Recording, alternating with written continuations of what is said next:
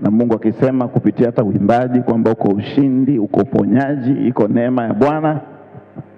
Ni wakati mzuri tena kumkaribisha mtumishi wa Mungu, mwalimu wetu ambaye amekuwa baraka sana sana wiki hii, Profesa John Mwakilema kuleta ujumbe wa Bwana.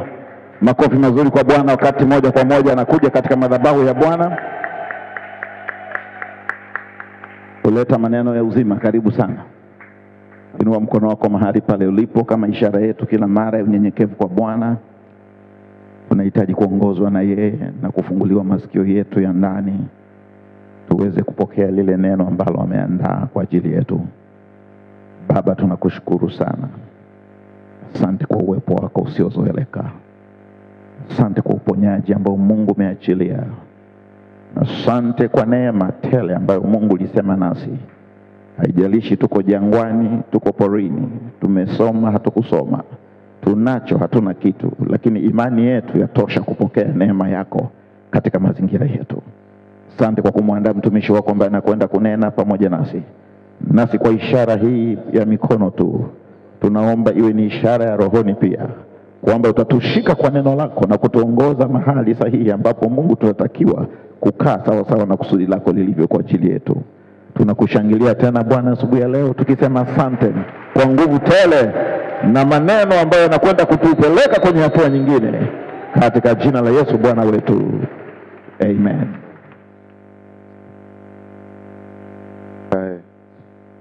Bwana asifiwe. Ninawasalimu wote katika jina eh, la Yesu Kristo. Ni asubuhi tena njema Mungu ametupa. Ah, Mungu kwa wema wake, lakini na kwa ajili ya watumishi wake na wewe ambaye umefika mahali hapa asubuhi hii ya leo, tutakwenda kujifunza e, juu ya jinsi ya kukutana na uwezo wa Mungu. Tuangalie kitabu kile cha Luka sura ya tano mstari wa kumi na saba hadi mstari wa ishirini na sita. Ikawa siku zile mojawapo alikuwa akifundisha na Mafarisayo na waalimu wa Torati walikuwa wameketi hapo, waliotoka katika kila kijiji cha Galilaya na Uyahudi na Yerusalemu, na uwezo wa Bwana ulikuwepo apate kuponya.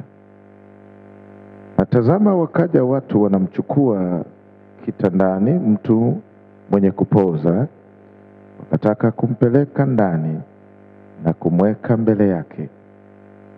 Hata walipokuwa walipokosa nafasi ya kumpeleka ndani kwa ajili ya lile kundi la watu, walipanda juu ya dari wakampisha katika matofali ya juu, wakamshusha yeye na kitanda chake katikati mbele ya Yesu. Naye alipoiona imani yao, alimwambia, e rafiki, umesamehewa dhambi zako. Basi wale waandishi na Mafarisayo wakaanza kuhojiana wakisema, ni nani huyu asemaye maneno ya makufuru? Nani awezaye kusamehe dhambi isipokuwa Mungu peke yake? Na Yesu alijua hoja zao, ajibu akawaambia, mnahojiana nini mioyoni mwenu? Lililo jepesi ni jipi, kusema umesamehewa dhambi zako, au kusema chukua, e, ondoka uende? Lakini mpate kujua ya kwamba mwana wa Adamu anayo amri duniani ya kusamehe dhambi. Alimwambia yule mwenye kupoza na kuambia, ondoka, ujitwike kitanda chako, ukaende zako nyumbani kwako. Mara huyo akasimama mbele yao, akajitwika kile alichokikalia, akaenda zake nyumbani kwake, huku akimtukuza Mungu.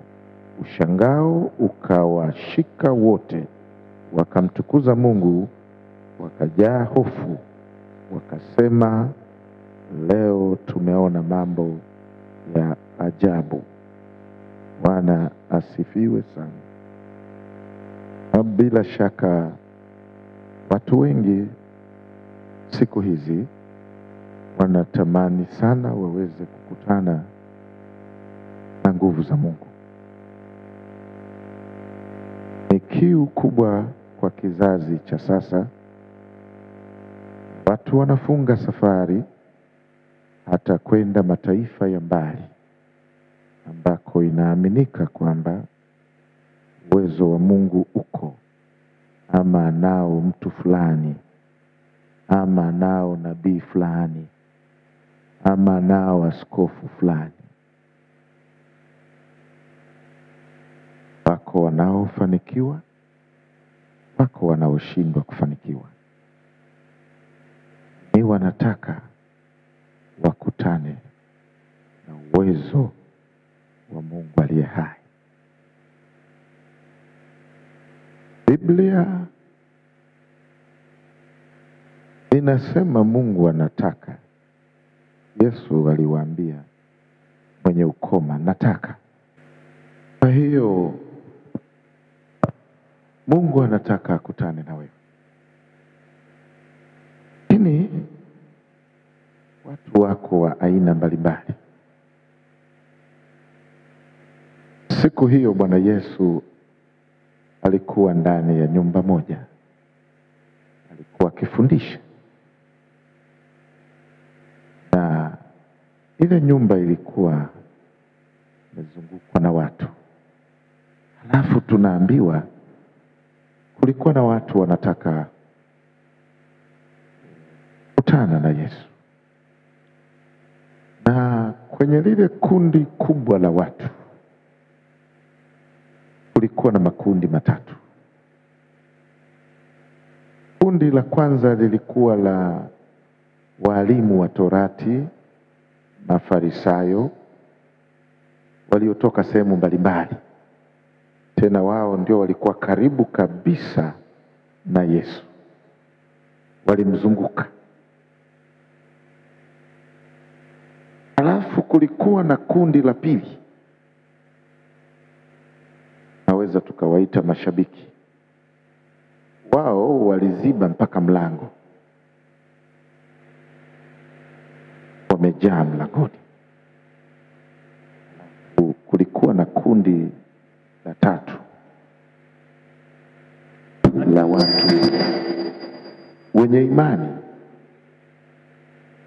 Hawa walimleta mgonjwa wao Walipofika mlangoni, wakakuta mlango umezibwa na mashabiki. Mashabiki, mimi niliishi Kariakoo pale upande wa kusini, kulikuwa na klabu ya Simba, alafu upande wangu wa kaskazini ulikuwa na klabu ya Yanga. Kwa hiyo nawajua mashabiki, timu zile zilipocheza, ikifungwa moja, usiku huo mlikuwa hamlali. Mashabiki wanajua kuliko hata wachezaji wengine. Hata ni viwete, lakini anapeleka kamguu kaka, anasema alikosa go, goli la wazi. Ni hodari sana wa maneno ni hodari sana wa kukosoa. Hawaingii ndani, wanataka waone, wakasimulie, sio wao wakutane na uwezo wa Mungu. Ni mashabiki. Roho ya siku za mwisho ya masikio ya utafiti ya ushabiki wanataka waone, alafu wakasimulie. Wengine wanataka tu. Siku moja nilikuwa na nahudumia watu, sasa nikapewa neno kwa ajili ya dada mmoja. Alafu yule mwingine akasema, naomba na mimi baba unitabirie kama ulivyomtabiria mwenzangu. Nikasema sijapewa neno la kukutabiria we, mi wasitabiriage tu eh, kila mtu makorokocho, sijapewa. Akasema haiwezekani, kwani uwezi ukajua nilionayo? Nikasema hata wewe si unayajua, kwani unataka nikutabirie? Sifiwe. Alikuwa ni shabiki. Mashabiki hawapokei chochote, ni wengi wa maneno na ujanja na werevu, wamezunguka Dar es Salaam, yote wanaijua. Makanisa yote ya Dar es Salaam wanayajua, yanayocheza sarakasi, yanayokula liturgia, yote wanayajua, lakini hawawezi kukutana na uwezo wa Bwana. Ama una roho ya ushabiki, unakuja hapa kwa ushabiki, labda ukawaangalia wadada warembo wa Amani Christian Center, na kweli wapo wadada warembo hapa, utachanganyikiwa, lakini uwezo wa Bwana hautaweza kukutana nao.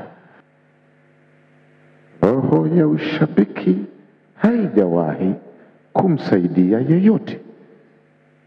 Tena unaweza ukapigwa ukiwa shabiki, wakati Yanga yenyewe haikujui, lakini unashabikia, unazuia wengine, mashabiki wanazuia wengine, zile vurugu zao zinazuia watu, na ndivyo mashabiki wale walivyokuwa ni watu ambao ufahamu wao ni wa juu juu, hawana hata uhakika. Unaweza kukariri miaka ya wacheza mpira wa, hata wa Ulaya, anajua alizaliwa lini, anajua mchezaji wa Ulaya alizaliwa lini, ana miaka mingapi, amekariri. Ukimuuliza hiyo elimu ya kujua miaka ya wachezaji wa Ulaya na kusaidia nini, ajui mradi apate mahali pa kubishania. Ni shabiki. Roho ya ushabiki haijawahi kumsaidia mtu yeyote, lakini Biblia inasema uwezo wa Bwana ulikuwepo ili apate kuponya. Bwana asifiwe. Kisha kulikuwa na kundi la pili la wasomi Mafarisayo na Masadukayo. Kwa kawaida wasomi tuna matatizo makubwa. Roho ya hoja, wasomi huwa wanahoji.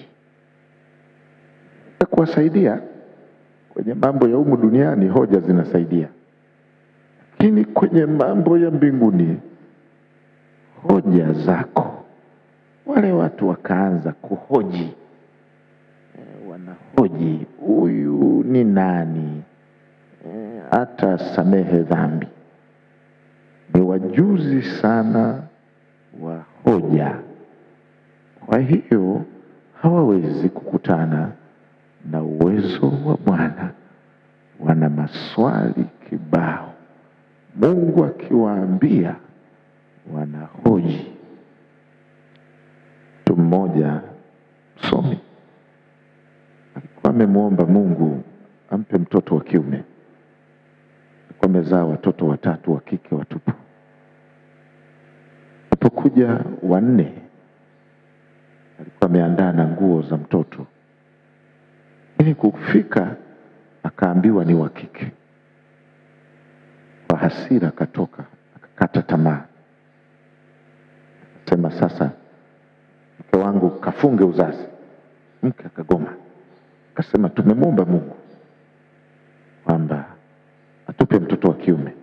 Akasema Mungu ameshindwa, yanakuja majike tu, yana faida gani? Alipoona mke wake amekataa, akasema basi mimi naenda kufunga mimi. Akaenda hospitali akakata ile mishipa ili kusudi iwe mwisho wa kuzaa. Basi wamekaa, yule mtoto wa nne amekuwa amefikisha miaka mitatu Halafu akasikia mama anamwambia, naona kwamba kama nina mimba. Akasema haiwezekani, kama una mimba wewe ni mzinzi, twende tukapime. Haiwezekani, mi nilishafunga bwana. Eh, na nilimwambia Mungu mimi basi, kama hunipi mtoto wa kiume, matoto yanazidi kuzaliwa mengi, mi sitaki. Basi wakaenda kupima, wakasema ni mimba, akasema nakupa talaka. Akasema kabla hujanipa talaka, twende kwa mchungaji. Wakaenda kwa mchungaji, mchungaji akawasikiliza. Mungu akampa hekima mchungaji, akasema jamani, wewe si unasema ulifunga eh, hebu turudi tena hospitali. Je, tukahakikisha. Wakarudi hospitali kupiga x-ray.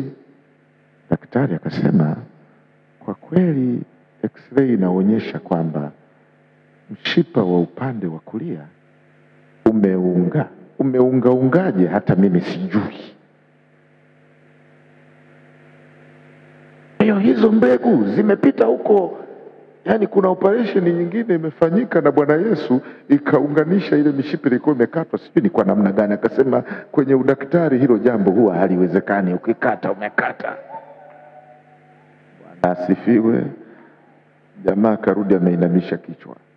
Kuja kuzaliwa mtoto, yani huulizi ni wanani. Copyright. Hoja za wasomi zikawa zimeshindwa. Hoja za wenye elimu lazima zishindwe, Yesu aonekane juu zaidi ya kila mtu. Bwana asifiwe. Unapoleta hoja, Bwana anataka kutembelee, wewe una hoja Eh, hii haiwezekani. Eh, hii sisi hatujawahi kusikia. Si lazima wewe umesikia, kwani Mungu ni mwenzako mpaka usikie kila kitu cha kwake? Kwamba mlikuwa pamoja naye wakati anaumba nchi, mlikaa kikao, mkawa mnasaidiana, unajadiliana una- naye.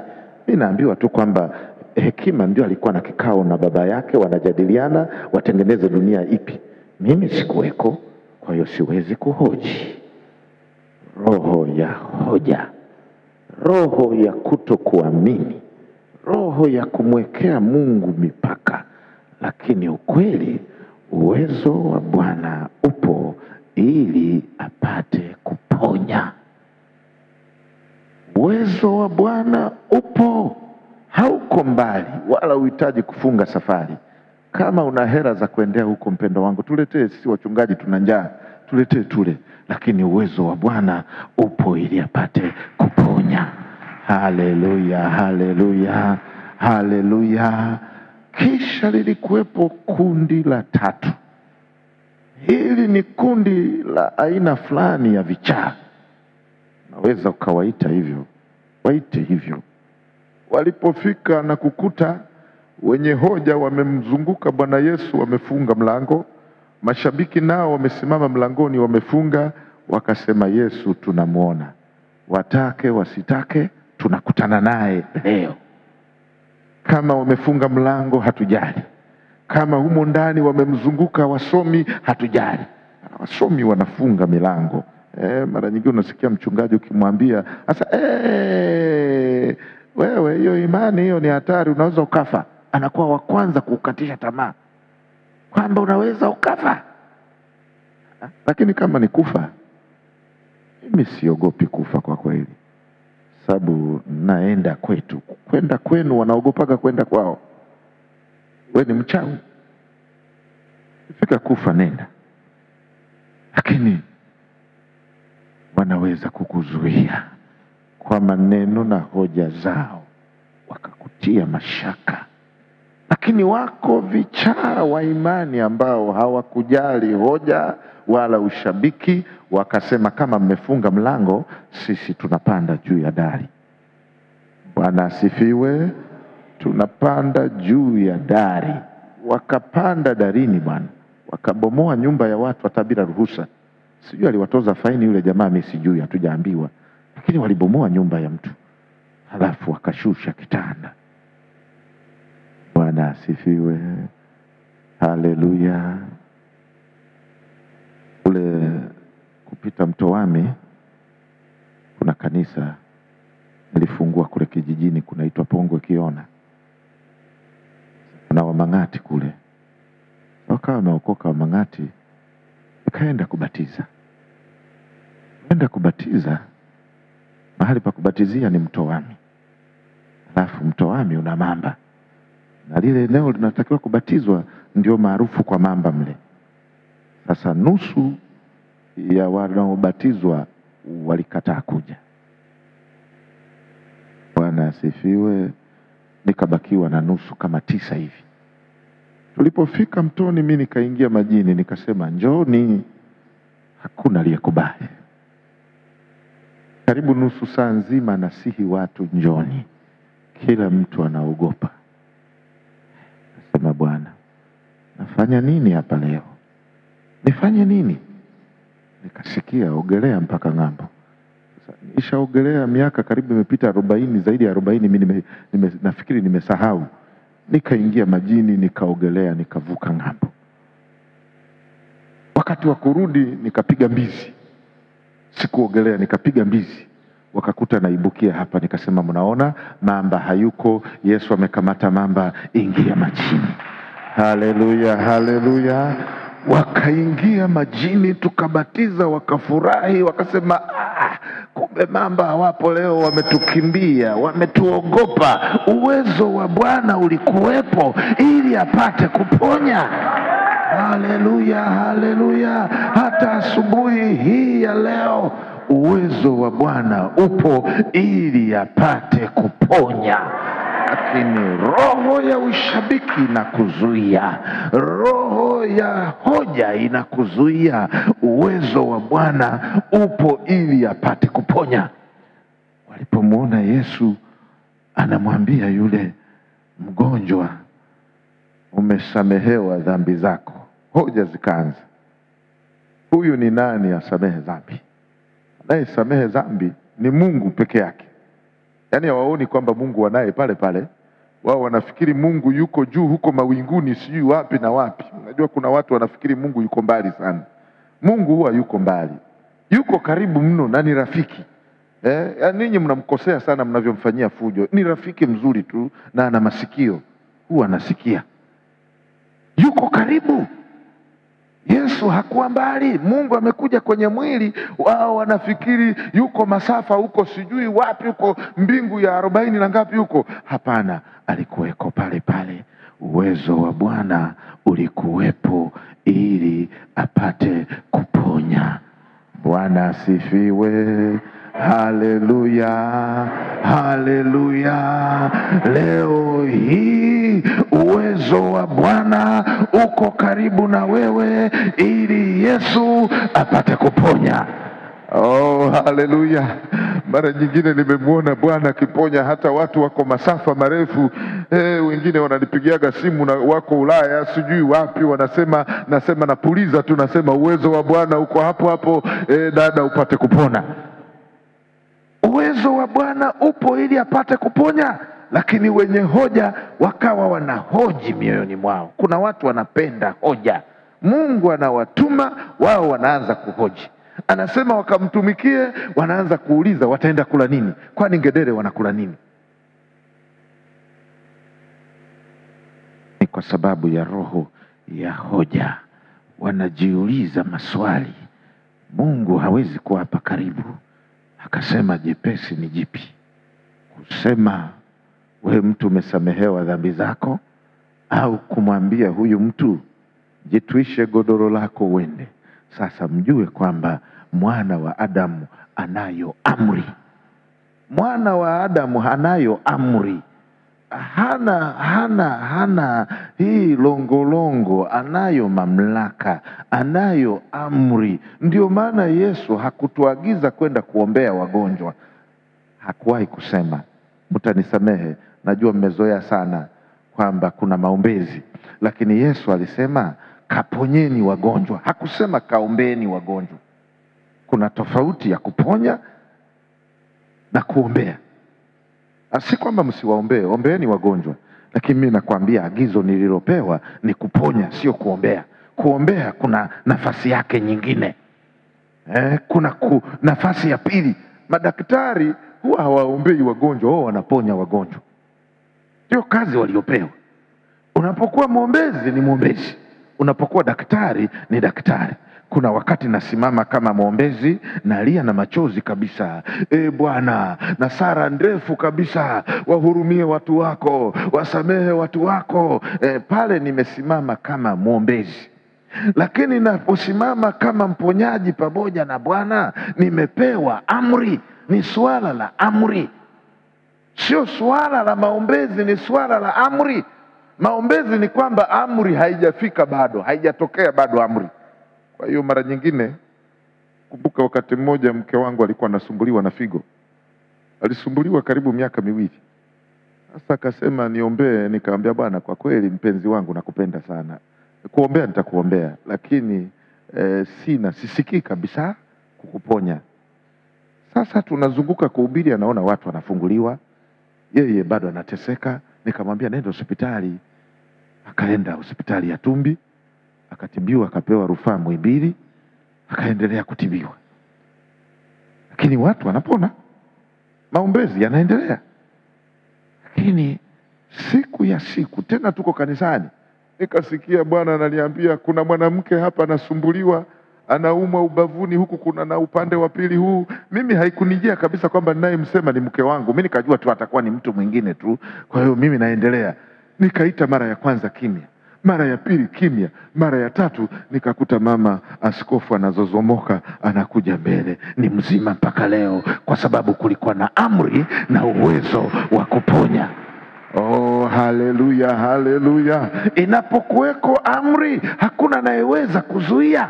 Watu wanapojaribu kufunguliwa bila amri, ndio wanajikwaa. Mwisho wanasema oh, inaonekana nimeombewa vya kutosha, lakini Bwana hafanyi. Inawezekana hata wale wanaoshuhudia ni waongo tu, wanataka tu kumfurahisha mchungaji. Hapana. Uwezo wa Bwana unapokuwepo kuponya, kuna amri ya kufunguliwa. Bwana asifiwe. Iko amri ya kufunguliwa. Anasema uwezo wa Bwana ulikuweko kuponya. Wale walioona kwamba uwezo upo waliamua kwamba kwa lolote lile nitafanya, lakini lazima leo niponywe, maana uwezo wa Bwana upo ili apate kuponya. Bwana asifiwe. Mara nyingine watu wanadhani kumpokea Roho Mtakatifu ni kazi ngumu.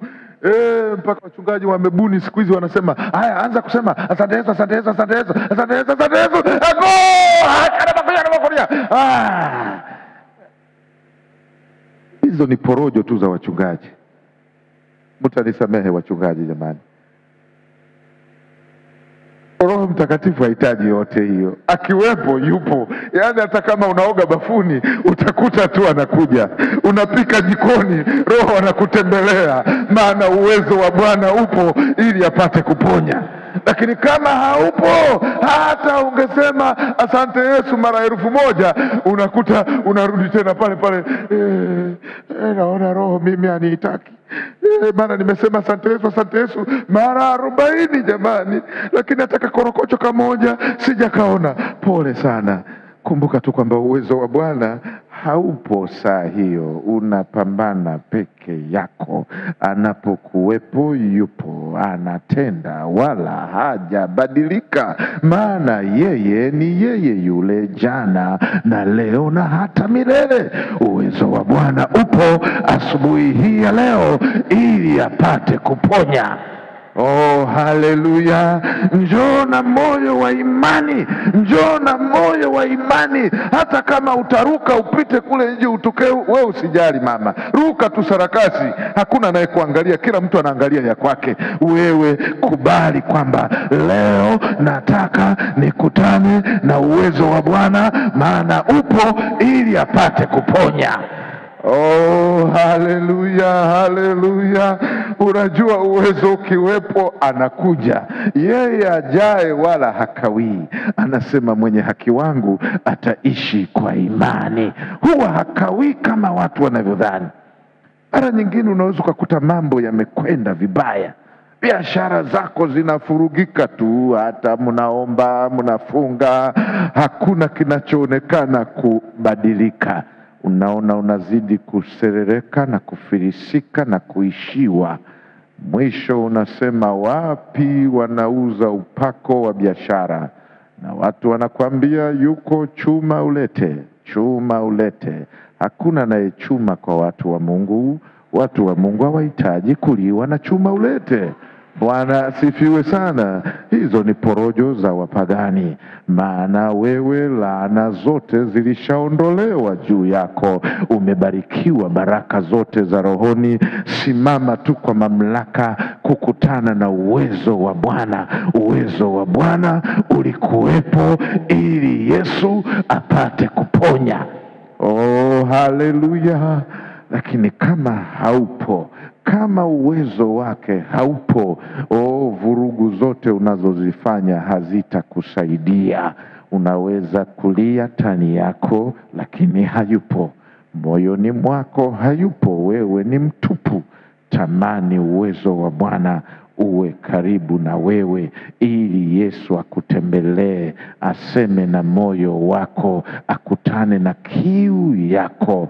Saa yako ya kukutana na uwezo wa Bwana ni sasa, na inawezekana kabisa. Saa yako ya kukutana na Bwana ni pale utakapoacha roho ya ushabiki, utakapoacha moyo wa hoja na mashaka ya kujiuliza uliza, Bwana anaanzia wapi? Atafanya fanya nini? Hajataka msaada wako msaidie, anataka wewe umwamini, uende kwa moyo mmoja wa ujasiri kwamba hata kama ni juu ya madari nitapanda, kama ni kunitoza faini, waache wanitoze faini, lakini leo nataka kukutana na uwezo wa Bwana na Mungu atafanya lisilowezekana kwa mwanadamu, kwa Mungu linawezekana. Katika siku za leo watu hawajataka kukutana na vitu vya halisi. Unajua, hii ni dunia ya vitu vya bandia, kila kitu ni cha bandia. Ukienda kwenye vyakula ni vyakula vya bandia, wamepandisha mkorosho sijui na mkorosho gani, wamepandisha mchungwa na mlimau. Hakuna yale machungwa ya asili ya zamani, yale matamu, ni ya bandia tu yaliyoko. Ukienda kwenye spea za magari kuna genuine, alafu kuna za kawaida za bandia. Kila unakokwenda ni roho ya bandia. Ukienda kanisani na kwenyewe pia siku hizi hata miujiza ni ya bandia. Unaweza ukadondoka chini ukarudi una ugonjwa wako ule ule, kwa sababu nilicheza tu giriba eh, roho ya giriba ya mazingaombwe ile eh, ile mazingaombwe yale watu wanayapenda sana. Utakula mazingaombwe, lakini ukirudi eh, bado ugonjwa wako uko pale pale, dhambi yako iko pale pale, hujakutana na kitu halisi. Ukikutana na kitu halisi, Yesu halisi, sio yule wa wasanii eh, unajua Yesu yuko wa aina nyingi. Yuko Yesu wa Waislamu, nasikia alizaliwa chini ya mtende kule Maka, anaitwa Isa bin Mariam. Ah, sio huyu nayemwamini. Wa kwangu mimi akuzaliwa chini ya mtende. Kama wa kwako alizaliwa chini ya mtende, pole sana. Yuko Yesu wa wasanii, wa wanamchora e, ana macho kama mwanamke, anarembua macho na nywele ndefu mpaka hapa nani, na yeye wanambandika, wanasema wana Yesu, na yeye ni wakwao. Lakini huyo ukikutana naye umekutana na wabandia. Ukikutana na wanaume wa wanaume, hutaona macho yanayolembuka, unakutana na macho ambayo ni kama mwali wa moto, unatafuta mahali pa kukimbilia. Huyo ndiye ambaye uwezo wake upo ili apate kuponya. Wale wabandia, unapoteza muda na nguvu zako bure. Yesu ni wa kweli, ni halisi, yupo na anaweza kufanya hata leo. Hajabadilika, ni yeye yule jana na leo na hata milele. Oh, haleluya, haleluya! Ni asubuhi ya kukutana na uwezo wa Bwana, maana upo ili apate kuponya. Uwezo wa Bwana, uwezo wa kweli wa Mungu aliye hai, sio vitu vya bandia. Uwezo wa Bwana ulio halisi, unapokutana na wewe, maisha yako yanabadilika. Haleluya, haleluya! Hata kama ulikuwa umepanga kwenda kuanguka eh, mtu mmoja akawa amepanga kwenda kuanguka kule Kenya. Nilikuwa nimeenda kuhubiri, alikuwa anashuhudia, alikuwa mepa, alikuwa amefanya kazi ya Mungu Nairobi muda mrefu, akawa kila kanisa linaishia watu kumi, kumi na tano, makanisa kama kumi hivi. Mwisho akasema, Bwana, naona Yesu akuniita, napoteza nguvu zangu bure na kukosa raha. Sasa naenda Mombasa kuanguka. Anaenda kuanguka Mombasa Kapanda basi, chukua na hela zake, anaenda kuanguka. Alivyokuwa ndani ya basi, huku amekaa na mtu mmoja, yule mtu akaanza kumsemesha semesha, wakaanza kuongea, akamweleza matatizo yake, akamuuliza kwani we ni nani? Sasa aseme uongo. Ah, katika kuongea afikia akajua kwamba huyu ni mtumishi wa Mungu, akasema naomba uniombee. Namwombea, lakini kuanguka naenda kuanguka. Akamwombea yule mtu akapona. Walipokaribia Mombasa, akamuuliza unafikia wapi? Akasema naenda tu kwenye gesti. Akasema hapana, twende nyumbani kwangu. Akaenda naye nyumbani kwake. Kufika nyumbani kwake, kesho yake yule mtu akaitisha familia na majirani kuwaeleza matendo makuu ambayo Mungu amemfanyia, na mtumishi wa Mungu yuko hapa atawaombea. Akawaombea akasema, lakini bado ninaenda kuanguka. Siku ya pili akakuta watu wameongezeka zaidi kuliko wale waliokuja jana, wameambizana, wamekuja zaidi. Akajikuta kuanzia asubuhi anahudumia watu, siku ya tatu wiki, kanisa la mamia ya watu limefika pale, na mwisho wa kuanguka ukaishia pale pale. Akasarenda, akasema, Bwana, kweli uwezo wako sio wa kawaida. Yuko Mungu aliye hai ambaye asubuhi hii ya leo uwezo wake upo ili upate kuponywa, ili upate kusamehewa, ili upate kuokolewa na inawezekana. Haleluya, haleluya! Uwezo wa Bwana upo ili apate kuponya. Huu uwezo wa Yesu unaotembea, unaogusa watu, unaobadilisha maisha ya wajane na yatima, unaobadilisha maisha ya watu waliokata tamaa, waliosema hawawezekani, lakini Yesu anasema dhambi zako zimesamehewa, beba godoro lako, anza kwenda zako. Oh, haleluya! Amri ya Yesu inakuja inasema, mama, beba godoro, nenda zako, maana dhambi zako zimesamehewa. Kulikuwa na amri, maana uwezo wa Bwana ulikuwepo ili apate kuponya. Na asubuhi hii ya leo Yesu hajabadilika, uwezo wake upo ili apate kuponya. Oh, haleluya! Oh, haleluya! Oh, haleluya! Yesu anataka akutane na wewe siku hii ya leo. Unaweza ukawa na maswali mengi juu ya mambo yaliyoshindikana maishani mwako ambayo unayaona hayawezekani.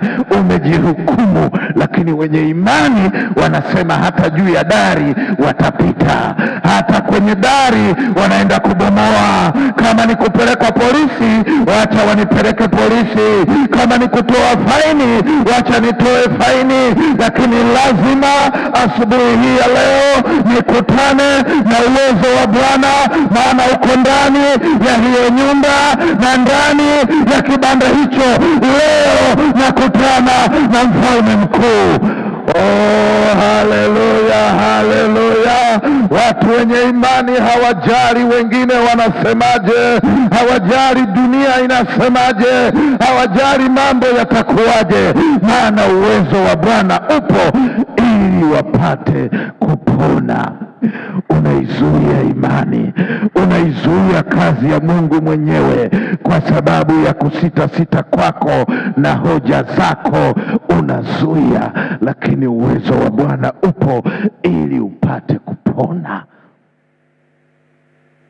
Nilikuwa natoka siku moja Kariakoo, napita mataa ya Magomeni, narudi kijijini kwangu.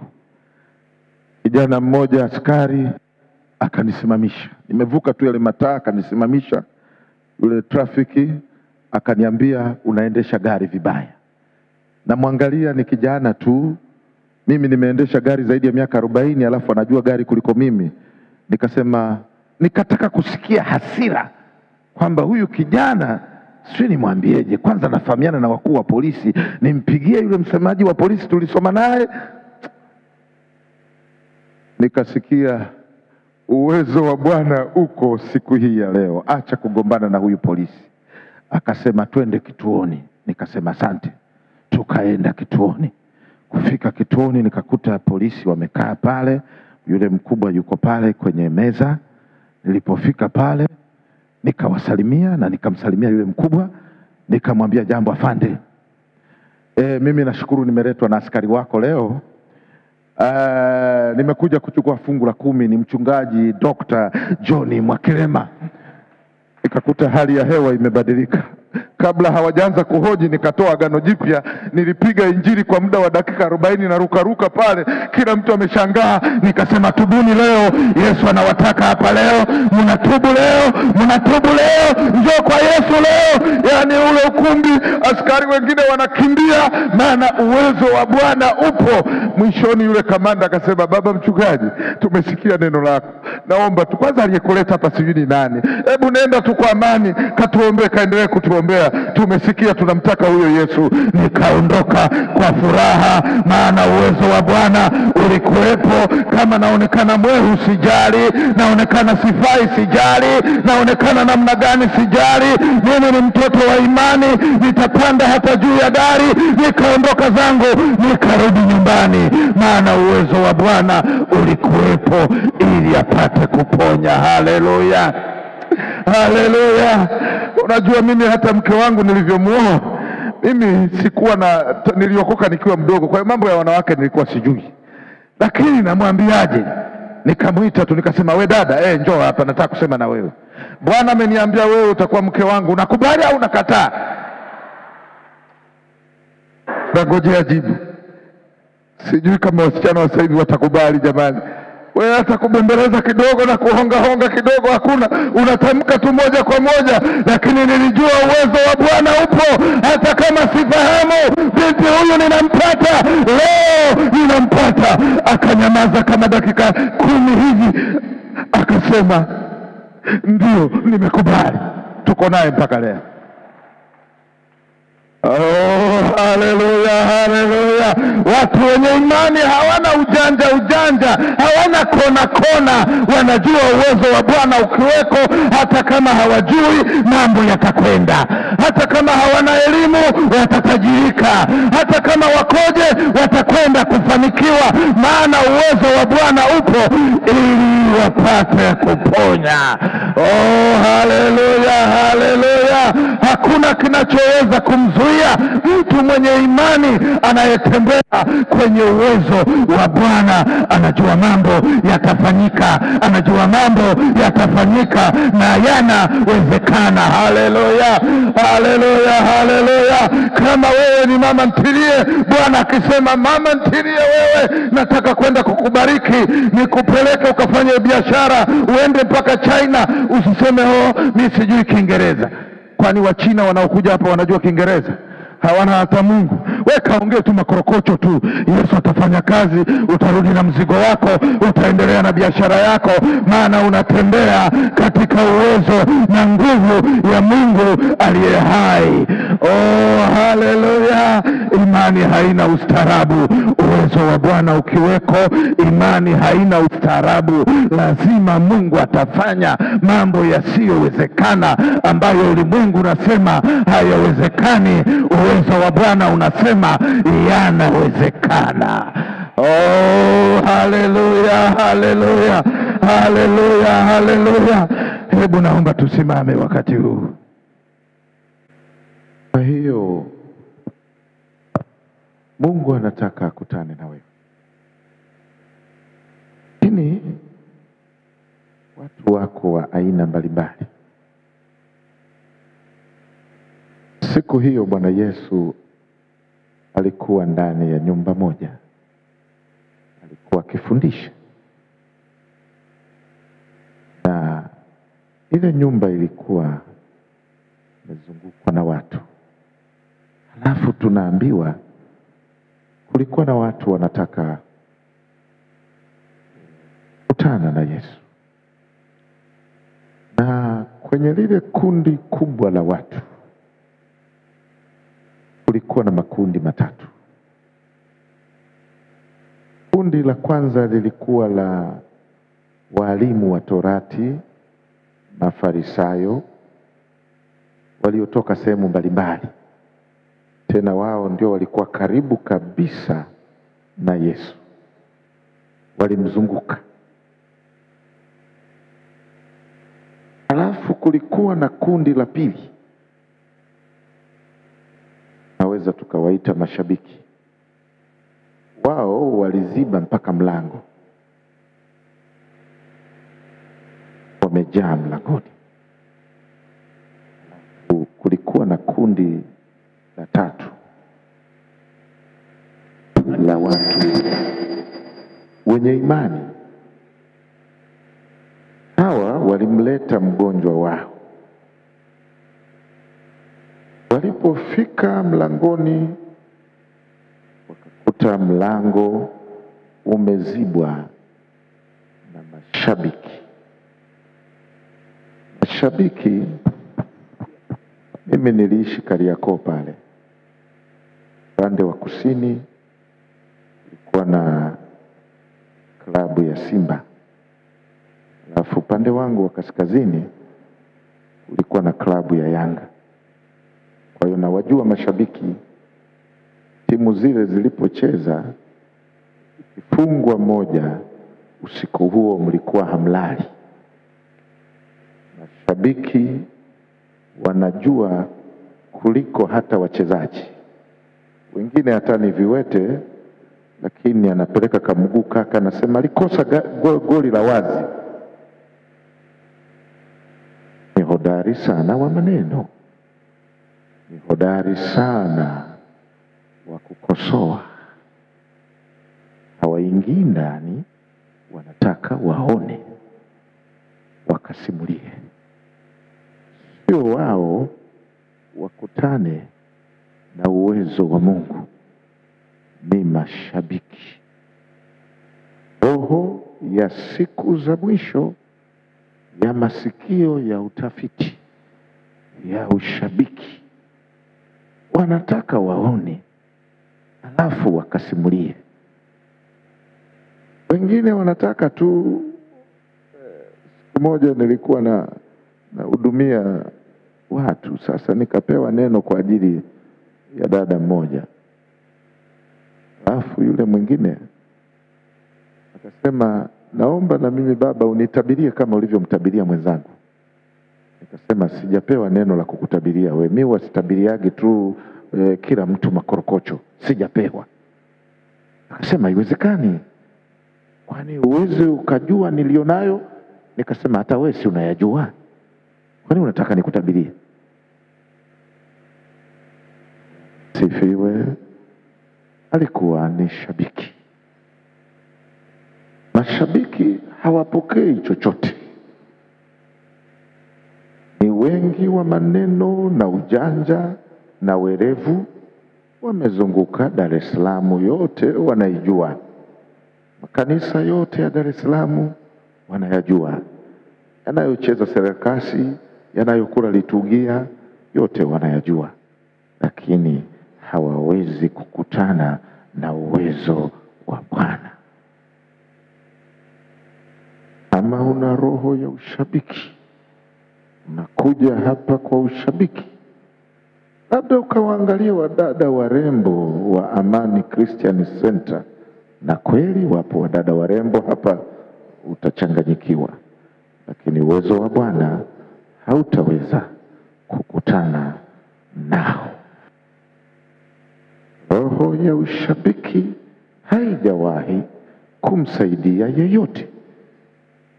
Tena unaweza ukapigwa ukiwa shabiki, wakati Yanga yenyewe haikujui, lakini unashabikia, unazuia wengine, mashabiki wanazuia wengine, zile vurugu zao zinazuia watu, na ndivyo mashabiki wale walivyokuwa.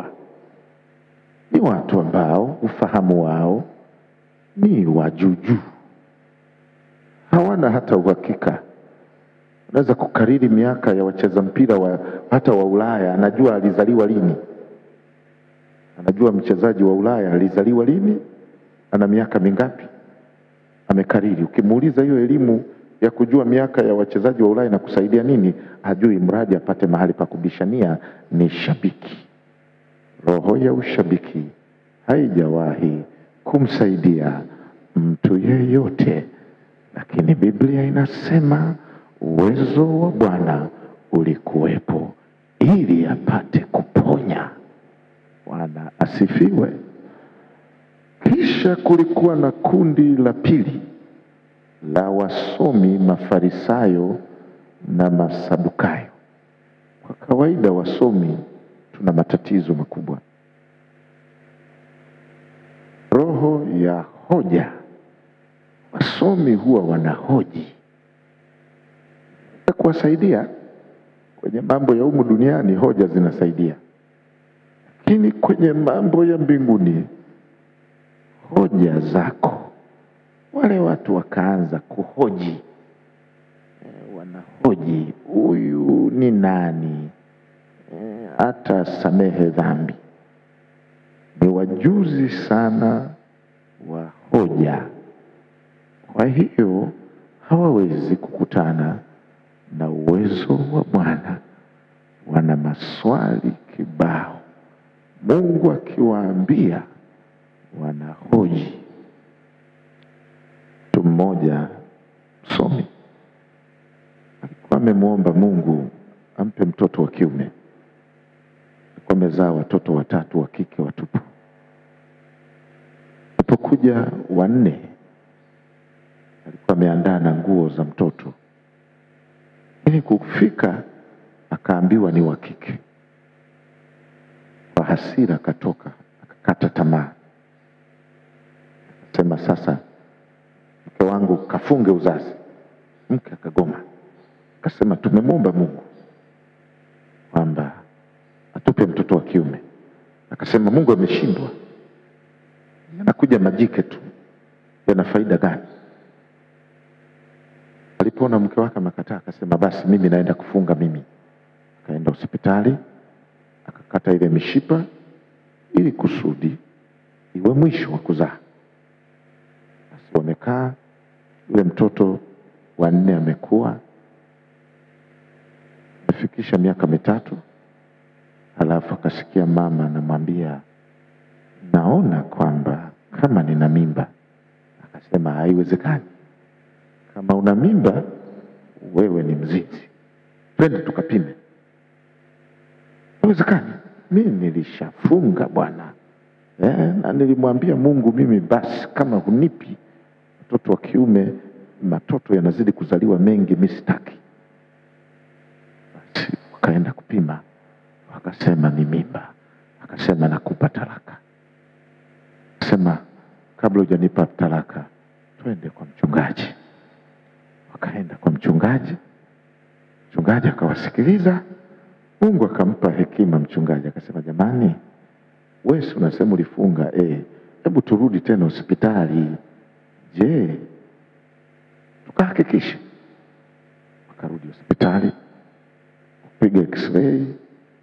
Daktari akasema kwa kweli x-ray inaonyesha kwamba mshipa wa upande wa kulia umeunga. Umeungaungaje? Hata mimi sijui.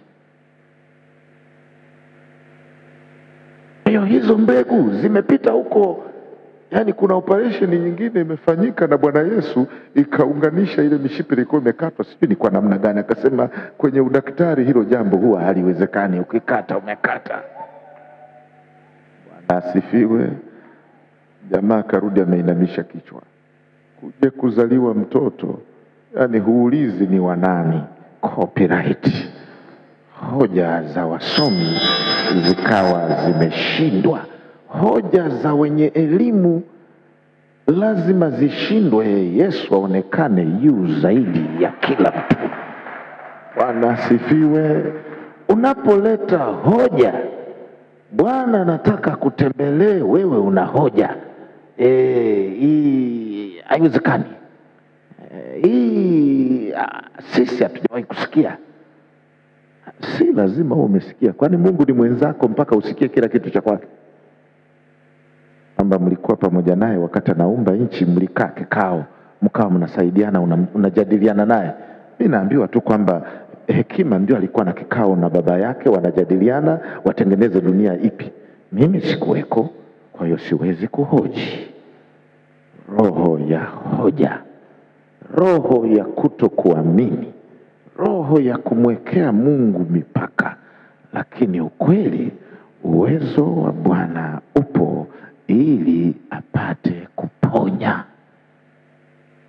Uwezo wa Bwana upo, hauko mbali, wala uhitaji kufunga safari. Kama una hera za kuendea huko, mpendo wangu, tuletee. Sisi wachungaji tuna njaa, tuletee tule, lakini uwezo wa Bwana upo ili apate kuponya.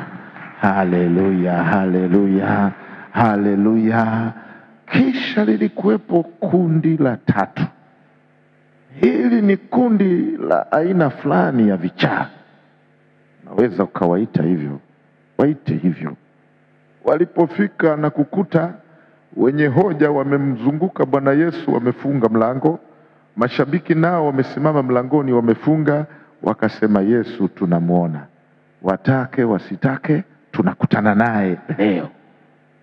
Kama wamefunga mlango, hatujali. Kama humo ndani wamemzunguka wasomi, hatujali. Wasomi wanafunga milango. E, mara nyingine unasikia mchungaji ukimwambia sasa, e, imani hiyo ni hatari, unaweza ukafa. Anakuwa wa kwanza kukatisha tamaa kwamba unaweza ukafa. Lakini kama ni kufa, mimi siogopi kufa kwa kweli, sababu naenda kwetu. Kwenda kwenu wanaogopaga kwenda kwao. We ni mchawi, fika kufa, nenda, lakini wanaweza kukuzuia kwa maneno na hoja zao, wakakutia mashaka. Lakini wako vichaa wa imani ambao hawakujali hoja wala ushabiki, wakasema kama mmefunga mlango, sisi tunapanda juu ya dari. Bwana asifiwe. Tunapanda juu ya dari. Wakapanda darini bwana, wakabomoa nyumba ya watu hata bila ruhusa. Sijui aliwatoza faini yule jamaa, mi sijui, hatujaambiwa, lakini walibomoa nyumba ya mtu, halafu wakashusha kitanda. Bwana asifiwe, haleluya. Kule kupita mto Wami kuna kanisa nilifungua kule kijijini kunaitwa Pongwe Kiona. Na Wamang'ati kule, wakawa wameokoka Wamang'ati, nikaenda kubatiza.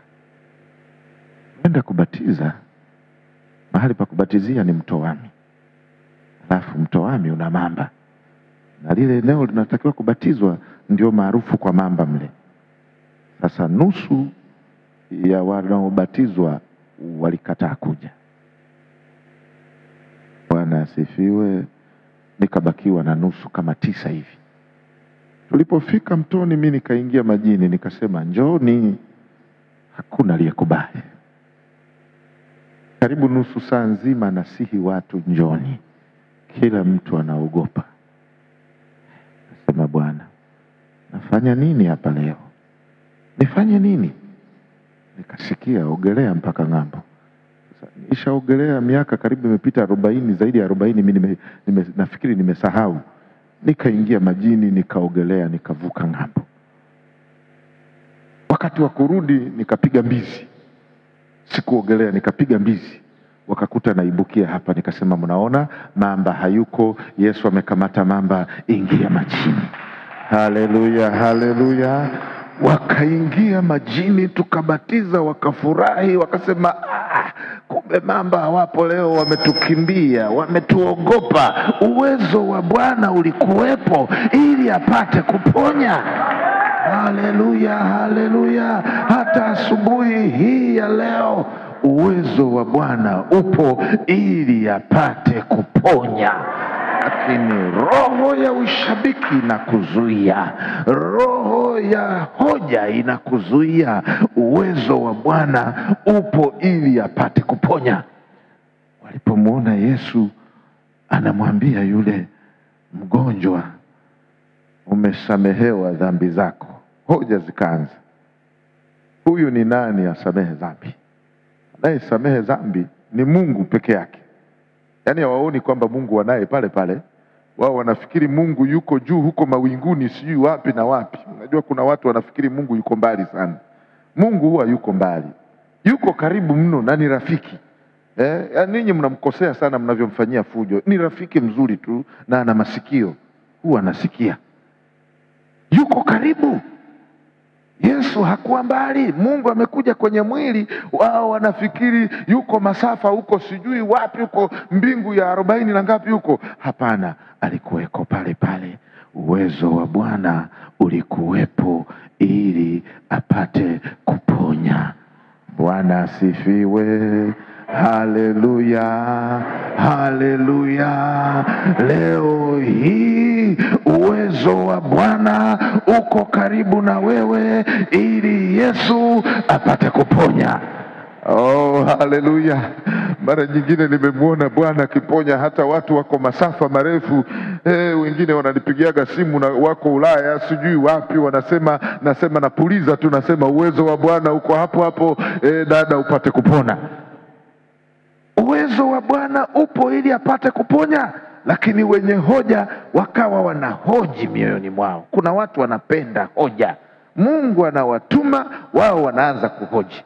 Anasema wakamtumikie, wanaanza kuuliza wataenda kula nini, kwani ngedere wanakula nini? Ni kwa sababu ya roho ya hoja, wanajiuliza maswali. Mungu hawezi kuwapa karibu. Akasema jepesi ni jipi, kusema we mtu umesamehewa dhambi zako, au kumwambia huyu mtu jitwishe godoro lako uende? Sasa mjue kwamba mwana wa Adamu anayo amri. Mwana wa Adamu anayo amri, hana hana hana hii longolongo, anayo mamlaka, anayo amri. Ndio maana Yesu hakutuagiza kwenda kuombea wagonjwa, hakuwahi kusema. Mtanisamehe, najua mmezoea sana kwamba kuna maombezi, lakini Yesu alisema kaponyeni wagonjwa, hakusema kaombeni wagonjwa. Kuna tofauti ya kuponya na kuombea. Ah, Si kwamba msiwaombee, ombeeni wagonjwa, lakini mimi nakwambia agizo nililopewa ni kuponya, sio kuombea. Kuombea kuna nafasi yake nyingine eh, kuna ku, nafasi ya pili. Madaktari huwa hawaombei wagonjwa, wao wanaponya wagonjwa, ndio kazi waliopewa. Unapokuwa mwombezi ni mwombezi, unapokuwa daktari ni daktari. Kuna wakati nasimama kama mwombezi, nalia na machozi kabisa, e Bwana, na sara ndefu kabisa, wahurumie watu wako, wasamehe watu wako. E, pale nimesimama kama mwombezi lakini naposimama kama mponyaji pamoja na Bwana, nimepewa amri. Ni suala la amri, sio suala la maombezi, ni suala la amri. Maombezi ni kwamba amri haijafika bado, haijatokea bado amri. Kwa hiyo mara nyingine, kumbuka, wakati mmoja mke wangu alikuwa anasumbuliwa na figo, alisumbuliwa karibu miaka miwili. Sasa akasema niombee, nikamwambia bwana, kwa kweli mpenzi wangu, nakupenda sana, kuombea nitakuombea, lakini e, sina sisikii kabisa kukuponya. Sasa tunazunguka kuhubiri, anaona watu wanafunguliwa, yeye bado anateseka. Nikamwambia nenda hospitali. Akaenda hospitali ya Tumbi, akatibiwa, akapewa rufaa Muhimbili, akaendelea kutibiwa. lakini watu wanapona, maombezi yanaendelea. Lakini siku ya siku tena, tuko kanisani, nikasikia Bwana ananiambia kuna mwanamke hapa anasumbuliwa anaumwa ubavuni huku kuna na upande wa pili huu. Mimi haikunijia kabisa kwamba ninayemsema ni mke wangu, mi nikajua tu atakuwa ni mtu mwingine tu. Kwa hiyo mimi naendelea, nikaita mara ya kwanza kimya, mara ya pili kimya, mara ya tatu nikakuta mama askofu anazozomoka, anakuja mbele, ni mzima mpaka leo, kwa sababu kulikuwa na amri na uwezo wa kuponya. Oh, haleluya, haleluya! Inapokuweko amri, hakuna anayeweza kuzuia. Watu wanapojaribu kufunguliwa bila amri, ndio wanajikwaa. Mwisho wanasema oh, inaonekana nimeombewa vya kutosha, lakini Bwana hafanyi. Inawezekana hata wale wanaoshuhudia ni waongo tu, wanataka tu kumfurahisha mchungaji. Hapana. Uwezo wa Bwana unapokuwepo kuponya, kuna amri ya kufunguliwa. Bwana asifiwe. Iko amri ya kufunguliwa. Anasema uwezo wa Bwana ulikuweko kuponya. Wale walioona kwamba uwezo upo waliamua kwamba kwa lolote lile nitafanya, lakini lazima leo niponywe, maana uwezo wa Bwana upo ili apate kuponya. Bwana asifiwe. Mara nyingine watu wanadhani kumpokea Roho Mtakatifu ni kazi ngumu. E, mpaka wachungaji wamebuni siku hizi wanasema haya, anza kusema asante Yesu, asante Yesu, asante Yesu, asante Yesu, asante Yesu. Ah. Hizo ni porojo tu za wachungaji. Mtanisamehe wachungaji jamani. Roho Mtakatifu hahitaji yote hiyo, akiwepo yupo. Yaani hata kama unaoga bafuni utakuta tu anakuja, unapika jikoni, Roho anakutembelea, maana uwezo wa Bwana upo ili apate kuponya. Lakini kama haupo, hata ungesema asante Yesu mara elfu moja, unakuta unarudi tena pale pale, eh, eh, naona Roho mimi aniitaki Eh, maana nimesema asante Yesu, asante Yesu mara arobaini jamani, lakini hata kakorokocho kamoja sijakaona. Pole sana. Kumbuka tu kwamba uwezo wa Bwana haupo saa hiyo, unapambana peke yako. Anapokuwepo yupo, anatenda wala hajabadilika, maana yeye ni yeye yule jana na leo na hata milele. Uwezo wa Bwana upo asubuhi hii ya leo ili apate kuponya. Oh, haleluya! Njoo na moyo wa imani, njoo na moyo wa imani. Hata kama utaruka upite kule nje utokee, wewe usijali mama, ruka tu sarakasi, hakuna anayekuangalia, kila mtu anaangalia ya kwake. Wewe kubali kwamba leo nataka nikutane na uwezo wa Bwana, maana upo ili apate kuponya. Oh, haleluya, haleluya! Unajua, uwezo ukiwepo anakuja yeye, ajaye wala hakawii. Anasema mwenye haki wangu ataishi kwa imani. Huwa hakawii kama watu wanavyodhani. Mara nyingine unaweza ukakuta mambo yamekwenda vibaya, biashara zako zinafurugika tu, hata mnaomba mnafunga, hakuna kinachoonekana kubadilika. Unaona unazidi kuserereka na kufirisika na kuishiwa. Mwisho unasema wapi wanauza upako wa biashara, na watu wanakwambia yuko chuma ulete, chuma ulete. Hakuna naye chuma kwa watu wa Mungu. Watu wa Mungu hawahitaji kuliwa na chuma ulete. Bwana sifiwe sana. Hizo ni porojo za wapagani, maana wewe laana zote zilishaondolewa juu yako, umebarikiwa baraka zote za rohoni. Simama tu kwa mamlaka kukutana na uwezo wa Bwana. Uwezo wa Bwana ulikuwepo ili Yesu apate kuponya. Oh, haleluya! Lakini kama haupo kama uwezo wake haupo, oh, vurugu zote unazozifanya hazitakusaidia. Unaweza kulia tani yako, lakini hayupo moyoni mwako, hayupo. Wewe ni mtupu. Tamani uwezo wa Bwana uwe karibu na wewe, ili Yesu akutembelee, aseme na moyo wako, akutane na kiu yako. Saa yako ya kukutana na uwezo wa Bwana ni sasa, na inawezekana kabisa. Saa yako ya kukutana na Bwana ni pale utakapoacha roho ya ushabiki, utakapoacha moyo wa hoja na mashaka ya kujiuliza uliza, Bwana anaanzia wapi? Atafanya fanya nini? Hajataka msaada wako msaidie, anataka wewe umwamini, uende kwa moyo mmoja wa ujasiri kwamba hata kama ni juu ya madari nitapanda, kama ni kunitoza faini, waache wanitoze faini, lakini leo nataka kukutana na uwezo wa Bwana na Mungu atafanya lisilowezekana kwa mwanadamu, kwa Mungu linawezekana. Katika siku za leo watu hawajataka kukutana na vitu vya halisi. Unajua, hii ni dunia ya vitu vya bandia, kila kitu ni cha bandia. Ukienda kwenye vyakula ni vyakula vya bandia, wamepandisha mkorosho sijui na mkorosho gani, wamepandisha mchungwa na mlimau. Hakuna yale machungwa ya asili ya zamani, yale matamu, ni ya bandia tu yaliyoko. Ukienda kwenye spea za magari kuna genuine, alafu kuna za kawaida za bandia. Kila unakokwenda ni roho ya bandia. Ukienda kanisani na kwenyewe pia siku hizi hata miujiza ni ya bandia. Unaweza ukadondoka chini ukarudi una ugonjwa wako ule ule, kwa sababu nilicheza tu giriba eh, roho ya giriba ya mazingaombwe ile eh, ile mazingaombwe yale watu wanayapenda sana.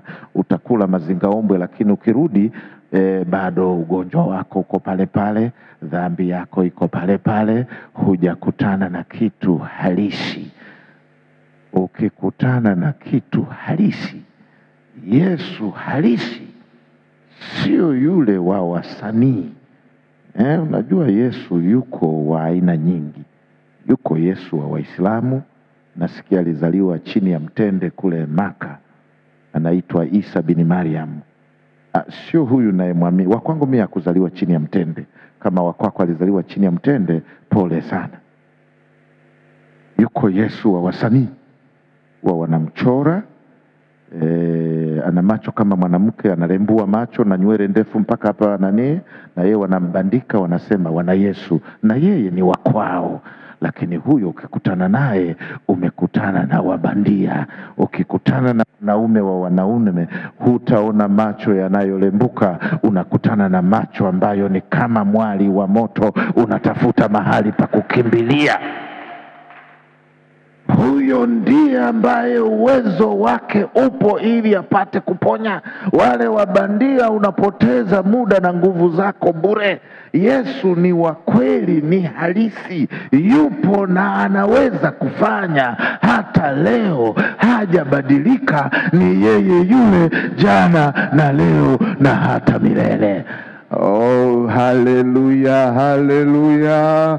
Ni asubuhi ya kukutana na uwezo wa Bwana, maana upo ili apate kuponya. Uwezo wa Bwana, uwezo wa kweli wa Mungu aliye hai, sio vitu vya bandia. Uwezo wa Bwana ulio halisi, unapokutana na wewe, maisha yako yanabadilika. Haleluya, haleluya! Hata kama ulikuwa umepanga kwenda kuanguka eh, mtu mmoja akawa amepanga kwenda kuanguka kule Kenya. Nilikuwa nimeenda kuhubiri, alikuwa anashuhudia, alikuwa alikuwa amefanya kazi ya Mungu Nairobi muda mrefu, akawa kila kanisa linaishia watu kumi, kumi na tano, makanisa kama kumi hivi. Mwisho akasema, Bwana, naona Yesu akuniita, napoteza nguvu zangu bure na kukosa raha. Sasa naenda Mombasa kuanguka. Anaenda kuanguka Mombasa kapanda basi, chukua na hela zake, anaenda kuanguka.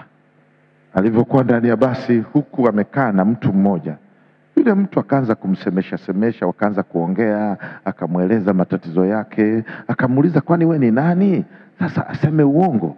Ah, katika kuongea kafikia akajua kwamba huyu ni mtumishi wa Mungu. akasema naomba uniombee. Namwombea, lakini kuanguka naenda kuanguka. Akamwombea yule mtu akapona. Walipokaribia Mombasa, akamuuliza unafikia wapi? Akasema naenda tu kwenye guest. Akasema hapana, twende nyumbani kwangu. Akaenda naye nyumbani kwake. Kufika nyumbani kwake, kesho yake yule mtu akaitisha familia na majirani kuwaeleza matendo makuu ambayo Mungu amemfanyia, na mtumishi wa Mungu yuko hapa atawaombea. Akawaombea akasema, lakini bado ninaenda kuanguka. Siku ya pili akakuta watu wameongezeka zaidi kuliko wale waliokuja jana, wameambizana, wamekuja zaidi. Akajikuta kuanzia asubuhi anahudumia watu, siku ya tatu wiki, kanisa la mamia ya watu limefika pale, na mwisho wa kuanguka ukaishia pale pale. Akasarenda, akasema, Bwana, kweli uwezo wako sio wa kawaida. Yuko Mungu aliye hai ambaye asubuhi hii ya leo uwezo wake upo ili upate kuponywa, ili upate kusamehewa, ili upate kuokolewa, na inawezekana. Haleluya, haleluya! Uwezo wa Bwana upo ili apate kuponya. Huu uwezo wa Yesu unaotembea, unaogusa watu, unaobadilisha maisha ya wajane na yatima, unaobadilisha maisha ya watu waliokata tamaa, waliosema hawawezekani, lakini Yesu anasema dhambi zako zimesamehewa, beba godoro lako, anza kwenda zako. Oh, haleluya! Amri ya Yesu inakuja inasema, mama, beba godoro, nenda zako, maana dhambi zako zimesamehewa. Kulikuwa na amri, maana uwezo wa Bwana ulikuwepo ili apate kuponya. Na asubuhi hii ya leo Yesu hajabadilika, uwezo wake upo ili apate kuponya. Oh, haleluya! Oh, haleluya! Oh, haleluya! Yesu anataka akutane na wewe siku hii ya leo. Unaweza ukawa na maswali mengi juu ya mambo yaliyoshindikana maishani mwako ambayo unayaona hayawezekani. Umejihukumu, lakini wenye imani wanasema hata juu ya dari watapita, hata kwenye dari wanaenda kubomoa. Kama ni kupelekwa polisi, wacha wanipeleke polisi. Kama ni kutoa faini, wacha nitoe faini, lakini lazima asubuhi hii ya leo nikutane na uwezo wa Bwana, maana uko ndani ya hiyo nyumba na ndani ya kibanda hicho. Leo nakutana na mfalme mkuu. Oh, haleluya, haleluya! Watu wenye imani hawajali wengine wanasemaje, hawajali dunia inasemaje, hawajali mambo yatakuwaje, maana uwezo wa Bwana upo ili wapate kupona. Unaizuia imani, unaizuia kazi ya Mungu mwenyewe kwa sababu ya kusita sita kwako na hoja zako, unazuia, lakini uwezo wa Bwana upo ili upate kupona. Nilikuwa natoka siku moja Kariakoo, napita mataa ya Magomeni, narudi kijijini kwangu. Kijana mmoja askari akanisimamisha, nimevuka tu yale mataa, akanisimamisha yule trafiki, akaniambia unaendesha gari vibaya. Namwangalia ni kijana tu, mimi nimeendesha gari zaidi ya miaka arobaini, alafu anajua gari kuliko mimi. Nikasema, nikataka kusikia hasira kwamba huyu kijana sijui nimwambieje. Kwanza nafahamiana na wakuu wa polisi, nimpigie yule msemaji wa polisi tulisoma naye. Nikasikia uwezo wa Bwana uko siku hii ya leo, acha kugombana na huyu polisi. Akasema twende kituoni, nikasema asante. Tukaenda kituoni. Kufika kituoni, nikakuta polisi wamekaa pale, yule mkubwa yuko pale kwenye meza. Nilipofika pale nikawasalimia na nikamsalimia yule mkubwa, nikamwambia jambo afande. E, mimi nashukuru nimeletwa na askari wako leo. Uh, nimekuja kuchukua fungu la kumi. Ni mchungaji Dr. John Mwakilema. Ikakuta hali ya hewa imebadilika. Kabla hawajaanza kuhoji, nikatoa agano jipya, nilipiga injili kwa muda wa dakika arobaini na rukaruka pale, kila mtu ameshangaa. Nikasema tubuni leo, Yesu anawataka hapa leo, mnatubu leo, mnatubu leo, njoo kwa Yesu leo. Yaani ule ukumbi, askari wengine wanakimbia, maana uwezo wa Bwana upo. Mwishoni yule kamanda akasema, baba mchungaji, tumesikia neno lako, naomba tu kwanza, aliyekuleta hapa sijui ni nani, hebu nenda tu kwa amani, katuombee, kaendelee kutuombea, tumesikia tunamtaka huyo Yesu. Nikaondoka kwa furaha, maana uwezo wa Bwana ulikuwepo. Kama naonekana mwehu, sijali, naonekana sifai, sijali, naonekana namna gani, sijali. Mimi ni mtoto wa imani, nitapanda hata juu ya dari.